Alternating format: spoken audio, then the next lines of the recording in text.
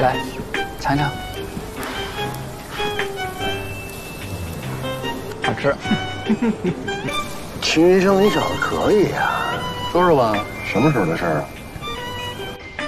我很喜欢这部电影里的一段台词。你是我睡前最后一个想说话的人。今天晚上我来这儿，不是因为寂寞，也不是因为别的。当我决定跟你共度余生，我只希望我的后半生从现在就开始。我就说这球肯定进了。你厉害。苏饼，苏饼，苏饼不在那边吗？我刚回来的时候，不会没带门吧？喂，苏苏，苏饼不见了。什么？那个那天晚上苏饼的事情。没关系，我知道你肯定不是故意的。毕竟你是他妈妈嘛。给你重新介绍一下，我男朋友秦医生。帮我查一查这个秦明生，我要最详细的资料。好的。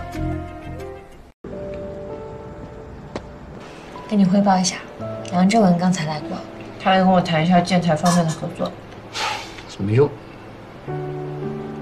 人家堂堂一个集团老总来份工作，给我们在这么大一桌子吃的，多体贴，多会照顾人啊！他应该是在追我们师姐吧？喂，苏工啊，你要的木板的样品已经送到我这边了，你要不要过来确认一下？可可可是我现在啊。感谢杨总对我们活动的支持。说到这儿，金生好像有一件我很喜欢的拍品被您拍走了。刚好，我也很喜欢这个东西。是这样的，秦医生，之前确实是因为我个人的疏忽，所以错过了他。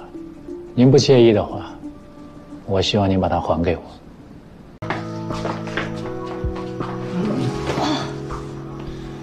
对呀，不喜欢你和他一起工作，我知道，我知道我应该答复你，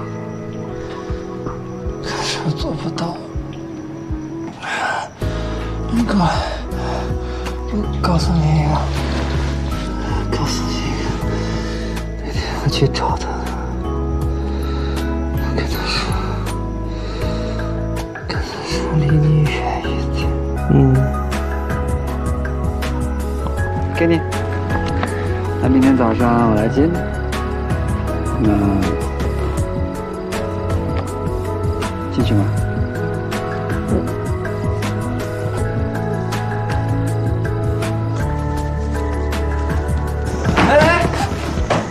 我我我帮你拿一下。什么东西啊？什么东西？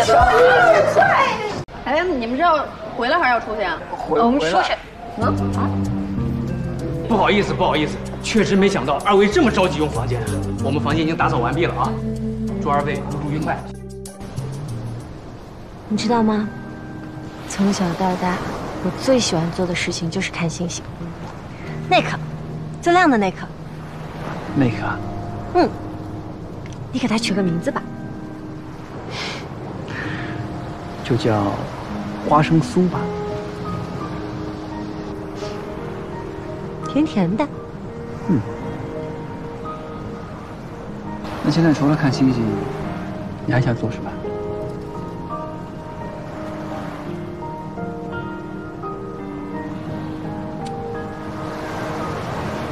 我想做这个。